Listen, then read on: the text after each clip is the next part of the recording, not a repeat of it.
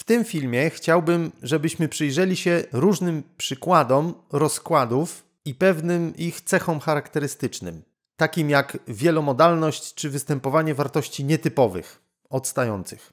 Pierwszy przykład. Które z poniższych stwierdzeń dobrze opisują rozkład pokazany na wykresie?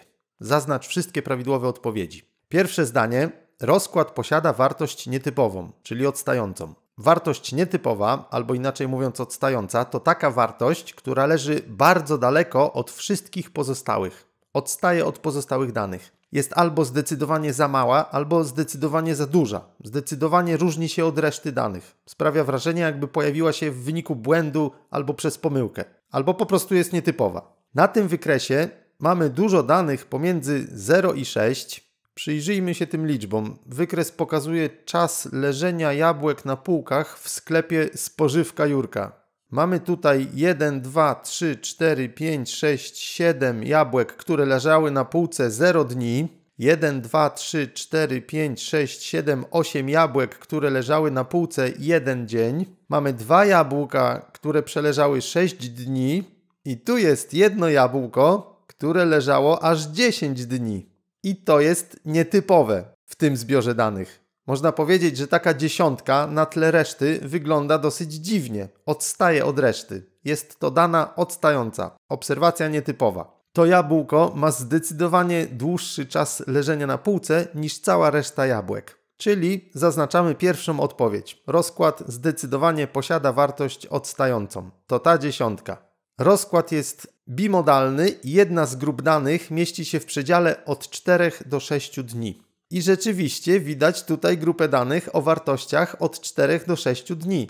Takie skupienie danych wygląda na wykresie, jakby było wydzielone od pozostałych danych, jakby było niezależne od reszty. Taki rozkład jak ten to rozkład bimodalny, czyli bardziej po polsku mówiąc dwumodalny. Sprawia wrażenie, jakby był złożony z dwóch mniejszych rozkładów jakbyśmy na przykład mierzyli czas leżenia jabłek w dwóch różnych sklepach, a potem nanieśli te dane na jeden wykres. No to zaznaczamy, że istnieje grupa danych skupienie w zakresie od 4 do 6 dni. No i w takim układzie nie zaznaczymy już żadna z powyższych odpowiedzi.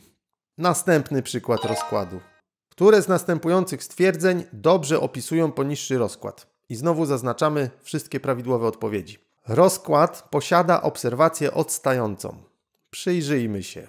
Tu jest jedna obserwacja, ma najwyższą wartość. Tu jest też pojedyncza obserwacja na drugim końcu, tym o niższych wartościach, ale nie są to punkty, które są bardzo oddalone od reszty danych. Gdyby jakiś punkt leżał tutaj, to rzeczywiście odstawałby od reszty, byłby obserwacją odstającą. Ale w tym rozkładzie nie ma raczej obserwacji odstających. Wszystkie dane leżą razem, w jednej grupie. Pierwszej odpowiedzi nie zaznaczymy. Rozkład nie ma obserwacji odstających. Druga odpowiedź. Rozkład posiada szczyt w 22 stopniach.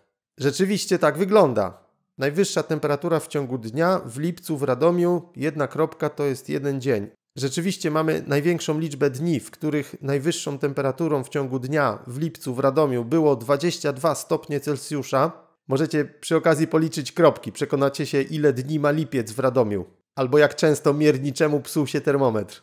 Czyli to jest szczyt. Możecie sobie kształt tego rozkładu i jego wykresu wyobrazić jako górę, i wtedy w punkcie 22 ma ona dosłownie swój szczyt, czyli najwyższy punkt. Wszystko w najbliższym otoczeniu leży niżej od tego szczytu. Czyli zaznaczamy drugą odpowiedź. Szczyt w 22 stopniach. No i jak już coś zaznaczyliśmy, to nie zaznaczymy trzeciej odpowiedzi, że nie zaznaczamy żadnej z powyższych. Ok, następny przykład. Które z następujących stwierdzeń dobrze opisują poniższy rozkład? Pierwsze, rozkład posiada obserwację odstającą. No to zobaczmy. Liczba klientów w ciągu dnia w kawiarni kanapkowej Krzysia. Nie było ani jednego takiego dnia, w którym klientów było mniej niż 19. Nigdy też nie było w ciągu całego dnia liczby klientów w zakresie 20 do 39. Tu wygląda na to, że było 9 takich dni, w których liczba gości mieściła się w przedziale od 40 do 59, 20 dni klientów 60, 79 i tak dalej, aż do najruchliwszych dni było ich na moje oko 8, w ciągu których klientów w kawiarni było więcej niż 180, ale mniej niż 200. No i nie wygląda na to, żeby był jakiś dzień, w którym liczba gości była jakaś zupełnie niezwykła. Nie ma na przykład dnia daleko po prawej, w którym byłoby na przykład 500 klientów. Według mnie w tym rozkładzie nie ma obserwacji odstających. Jest to ładny, jednomodalny rozkład. Nic tu nie odstaje. Druga odpowiedź. Rozkład ma skupienie w zakresie od 0 do 39 klientów. Od 0 do 39 to stąd dotąd. Żadnych dni nie ma w tym zakresie, ani od 0 do 19, ani od 19 do 39. Jeżeli nie ma tu danych, to nie ma tu skupienia.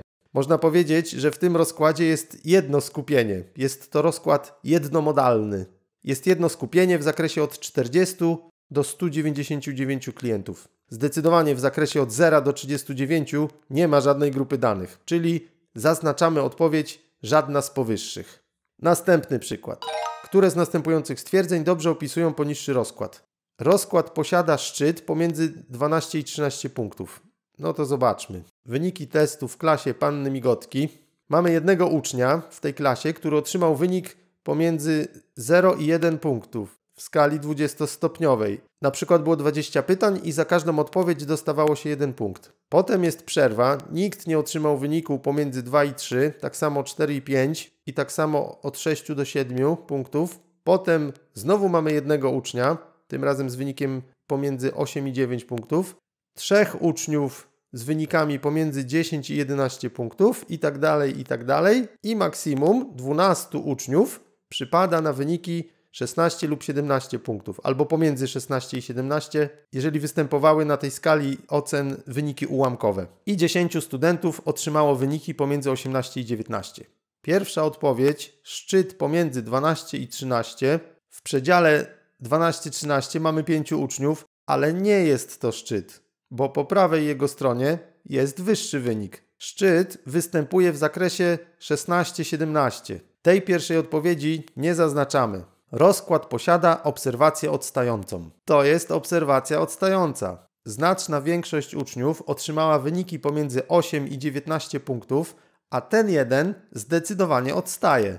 Jeżeli spojrzymy na wykres rozkładu, to taka obserwacja odstająca dosłownie odstaje od reszty i to widać z daleka. Pomiędzy nią a pozostałymi obserwacjami jest wyraźna przerwa. Jeżeli pomiędzy jakąś obserwacją daleko z lewej lub daleko z prawej strony rozkładu, a główną częścią rozkładu jest wyraźna przerwa, to jest to obserwacja odstająca, inaczej mówiąc nietypowa. Zaznaczamy drugą odpowiedź. Ten rozkład zdecydowanie posiada obserwację odstającą. No i ostatniej odpowiedzi nie zaznaczamy, skoro zaznaczyliśmy którąś z dwóch pierwszych. Koniec przykładów.